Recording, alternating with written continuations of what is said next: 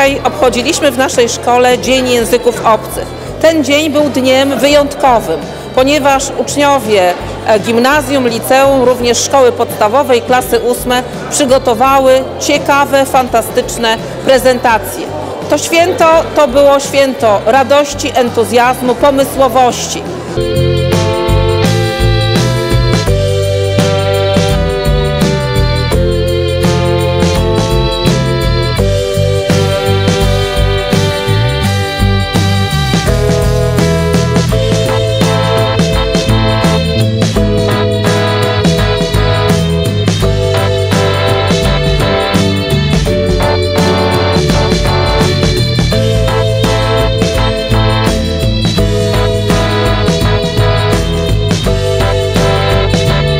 Uczniowie przeprowadzili nas przez wszystkie kraje świata.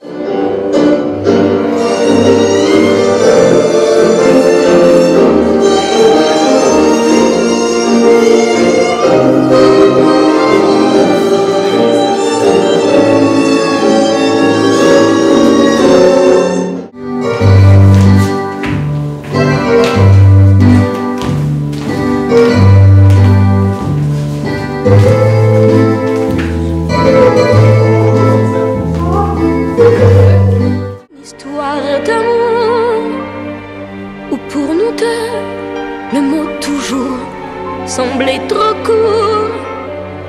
Tu vois pourtant, nous n'avons plus beaucoup de temps.